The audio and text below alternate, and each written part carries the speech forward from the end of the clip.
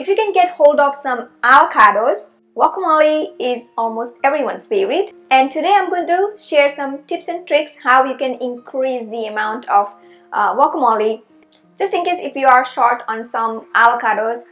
Here I have the ingredients ready to prepare the avocado guacamole dip.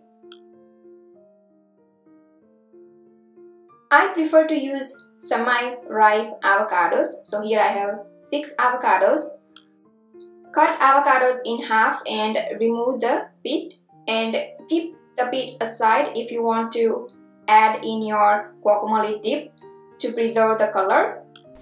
It is easier to scoop out avocado using the spoon.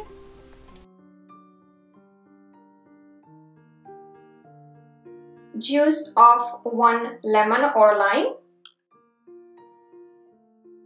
8 to 10 cloves of garlic Jalapeno or serrano peppers, you can add as per your taste. A bunch of cilantro, coriander leaves, salt to taste, and ready to blend.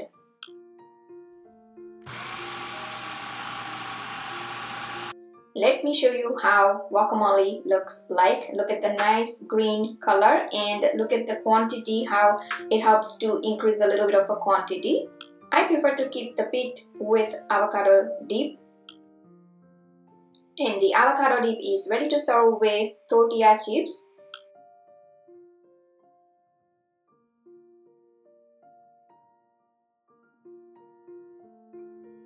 Just in case if you are short on some avocados, you can add boiled chickpeas to your uh, guacamole. Now, be sure to retain that green color. And when boiled chickpeas are added, the color may change slightly and to fix that, add some spinach in it. Besides spinach, other greens like broccoli and peas can be added to increase volume while simultaneously turning this snack into a superfood.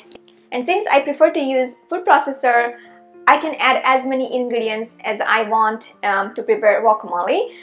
I love to add a bunch of cilantro, jalapenos or serrano, garlic to make flavorful guacamole.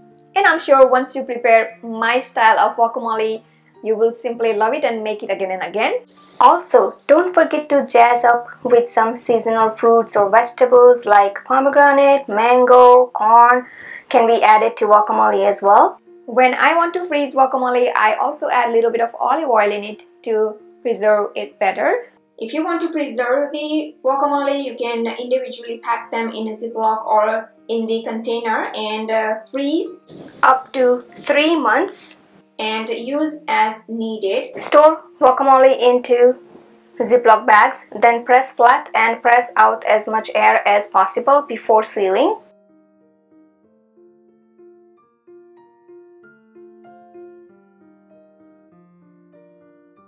I hope you enjoyed watching this video. Please do like and comment below and don't forget to subscribe to my channel for new recipe videos every week. You can also visit my website bhavnaskitchen.com for new recipe tips, tricks and ideas in the kitchen. You can follow me on Facebook, Twitter, Instagram, Pinterest. Bhavna's Kitchen is almost everywhere. You can download Bhavna's Kitchen apps totally free on your mobile devices like iOS, Android and many more. You can also watch me on a big TV screen using Roku, Amazon Fire, or YouTube app itself if you have the smart TV. Thanks for watching and see you soon.